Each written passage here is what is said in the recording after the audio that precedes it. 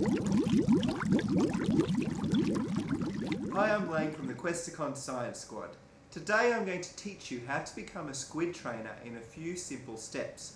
All you need is a cup of water, an eyedropper, a permanent marker, a balloon, a rubber band, some scissors, and a plastic bottle full of water just like this one. First, we need to squidify our eyedropper. So using your permanent marker, you can draw some eyes on it, just like I've done here. Next, using the scissors, you want to cut off the neck of the balloon, just like so. Now, using the scissors, you want to cut some strips into that neck of the balloon, just like I'm doing here. These strips are going to be your squid's tentacles.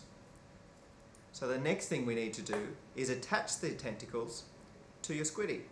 So place the balloon neck over the eyedropper and attach it using an elastic band.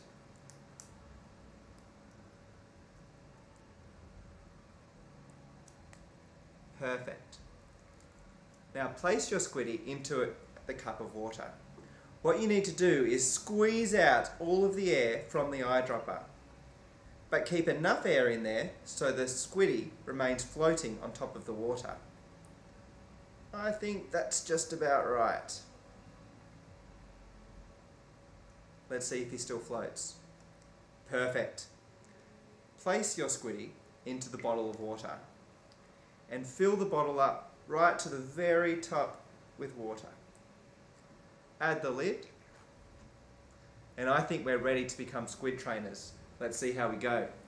Go down, Squidy! As I squeeze the bottle, Squidy sinks down. Go up, Squidy! And as I let it go, he floats back up to the top. To find out why Squidy floats and sinks, head to the Questacon Science Squad website. See you next time!